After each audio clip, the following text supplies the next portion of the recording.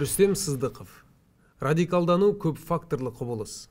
Қазақстан мұсылмандарын жүз пайыз ретінде алатын болсақ бүгінгі таңда біз діни тәжірибені ұстанатын мұсылмандар бар намаз оқитын және діни тәжірибені ұстанбайтын мұсылмандар бар. Бірақ екеуі де мұсылмандар деп бөлуіміз керек. Өкінішке орай кейбір мінберлерден өздерін сарапшымын деп есептейтін бауырларымыз қарындастарымыз сенетін мұсылман сенбейтін мұсылман деп бөліп отыр. Бұл дұрыс емес деп есептейміз. Сенетін мұсылман сенбейтін мұсылман болмайды. Егер ол сенбесе аллаға және иманның алты шартына ол мұсылман болып есептелмейді. Демек бүгінгі таңда өте өзекті біз ә, тәж, діни тәжірибемен айналысып жатқан мұсылман намаз оқитын және намаз оқымайтын мұсылман деп екіге бөлдік.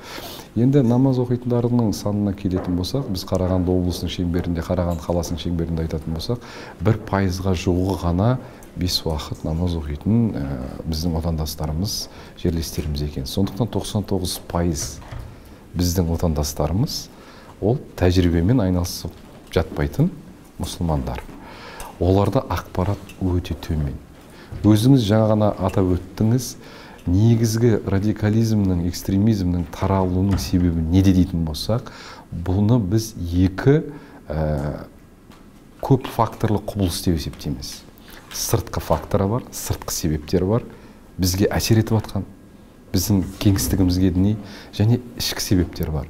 Сыртқы себептеріне тоқтайтын болсақ әлбетте сирия болсын ирак болсын солтүстік вазиристан деген жерлер бар. Сол жерге өкінішке орай кеткен бауырларымыз қарындастарымыз бар ғой. Ол жерде болып жатқан саяси ойын қанды қырғын тек геосаясат және геоэкономика. Мұнай құбыры газ құбыры. Қай мемлекеттер арқылы өту керек қай мемлекеттер арқылы өтпеу керек.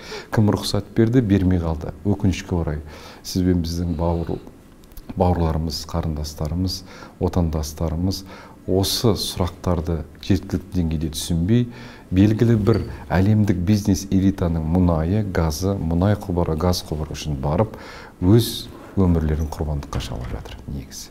Бұл сыртқы фактор. Ол жерде тек геоэкономика тек геосаясат деп айтуымызға болады.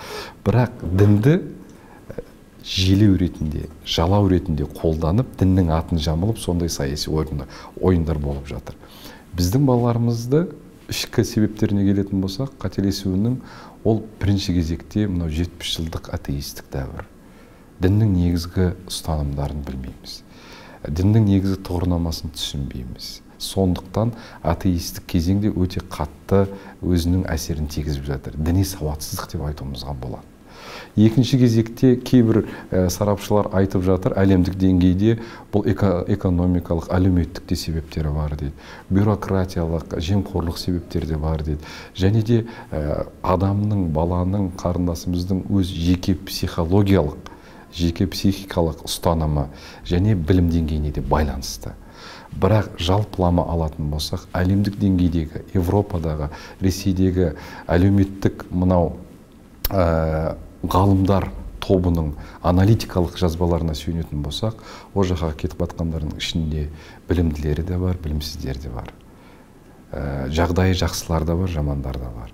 Жастарының әлеуметтік портретін қарайтын болсақ жас жағынан олар 18 бен где то 30-дың арасындағы бауырларымыз. Негізгі проблема діни сауатсыздық. Бұл өз кезегінде осы сұраққа ә, жауап ретінде мен айтар едім. Соғысқа өкінішке орай кетіп қалған соғыс алаңдарына бауырларымыздың аналарымен кездескен кезде олардың айтатыны балалары көз алдында радикалданып жатыр. Сонда ол кісілер түсініп те жатқан жоқ та не болып жатқанын баланың санасымен мысал ретінде айтатын болсам егер күнделікті 10-24 сағат баласы өз үйінде отыр ғой пәтерінде дастархан басында отырады сонда балалары телевизор көруге болмайды ол харам. Мынау ә, зайырлы білім ошақтарында оқуға болмайды ол керек емес. Ол кәпірдің оқу деп жатқан кезде. Не болмаса біз дәстүрімізде бар. Тамақ ішкеннен кейін астан кейін бет сипау бет сипамай, сипамай жатқан кезде не болмаса біздің қазақтар мынау қазақстан мұсылмандар діни басқармасының өкілдері олар бидағат иелері екен жаңалықтар енгізіп жатыр. Олардың мұсылмандығы таза емес екен. Діндері дұрыс емес деп айтып жатқан кезде ол бала әкесі мен шешесіне сигнал беріп жатыр еді да қараңдар маған көңіл бөліңдер мен радикалдық бағытта бара жатырмын деп қанша рет сигнал берді. Бірақ өкінішке орай біздің ата ата аналарымыздың негізгі проблемасы олар діни мағлұмат жоқ ол бауырларымызда қарындастарымызда және баласының санасында қандай өзгерістер болып отыр соны елеп жатқан жоқ тоқтата жатқан жоқ. Сондықтан осы процесс осылай қазақстанда болды. Бүгінгі таңда бірақ осы соңғы екі жылдың ішінде әжептәуір өзгеріс жақсы жағына қарай бар деп есептейміз. Осылай айтатын болсақ ақиқатқа томпақ келмейтін сияқты. Себебі қазір бүкіл медиа ресурстары арқылы мемлекеттік болсын мемлекеттік емес болсын және де қоғамдық бірлестіктер арқылы үкіметтік емес ұйымдар жастардың белсенді мүшелері арқылы қоғамға қоғамның кез келген сегментінде дәстүрлі діннің қағидаттары таратылып жатыр. Және де адасқан ағымдардан қай жерлері бұл айырмашылық неде тұр? Концептуалды антагонистік айырмашылық. Осыны білу өте маңызды бізге. Сонда ғана біз елбасымыз айтқандай өз санамызда ішкі сүзгіні не болмаса иммунитетті орналастырамыз.